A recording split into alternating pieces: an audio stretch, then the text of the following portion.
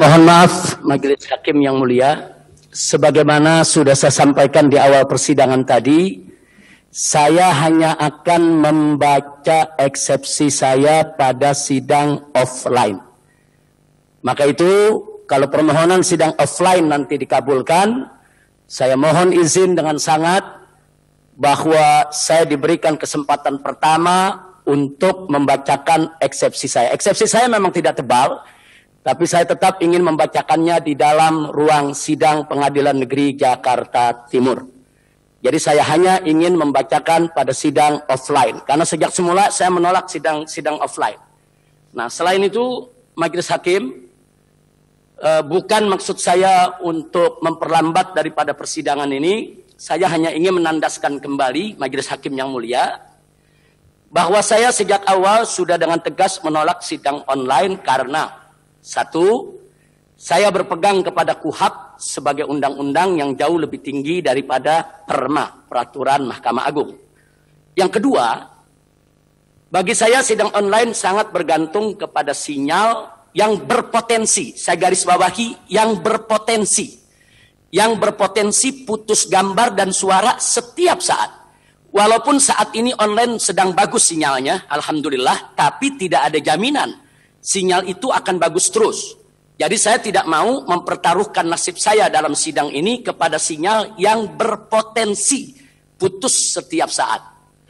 Nah, kemudian yang ketiga, saya hanya ingin mengingatkan diri saya khususnya, kemudian juga kepada para pengacara, para jaksa, dan teristimewanya kepada majelis hakim yang mulia, bahwa saat ini saya bukan hanya menghadapi sidang ini saja saya menghadapi tiga sidang dengan sebelas dakwahan dan delapan pasal ber, 18 pasal berlapis. Ada pasal yang ancamannya enam tahun penjara, ada pasal yang ancamannya 10 tahun penjara. Artinya bagi saya ini masalah yang sangat serius. Sehingga saya harus all out dan harus super maksimal di dalam membela diri.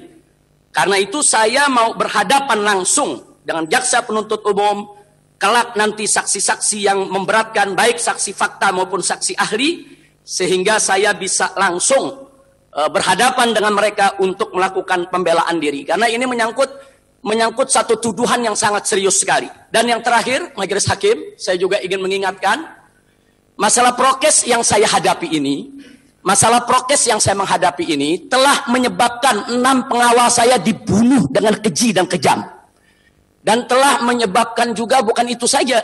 Saya mengalami tekanan-tekanan yang luar biasa. Organisasi dibubarkan, keluarga saya ATM-nya semua dibekukan. Pengawal saya dibunuh. Jadi saya pikir ini ini bukan sekedar masalah yang yang sederhana. Memang masalahnya prokes, kelihatannya sederhana. Tapi yang saya alami faktanya eh, kami diteror, kami dikejar, kami ditembaki, kemudian pengawal saya dibunuh dengan sadis, dengan kejam, eh, berhubungan semua dengan prokes ini. Nah karena itu, karena saya memandang ini masalah serius, masalah yang sangat besar sekali, sudah menyangkut masalah yang eh, betul-betul uh, penuh dramatisir dan politisir, saya minta sekali dengan sangat, saya hanya akan membacakan, yaitu eksepsi saya secara langsung dalam ruang sidang. Karena itu saya mohon dengan sangat kepada Majelis Hakim yang mulia untuk mengabulkan permohonan kami untuk bisa membuat penetapan sidang offline pada sidang yang akan datang sekaligus memberikan kesempatan saya untuk membacakan eksepsi saya. Terima kasih Majelis Hakim yang mulia. Assalamualaikum warahmatullahi wabarakatuh.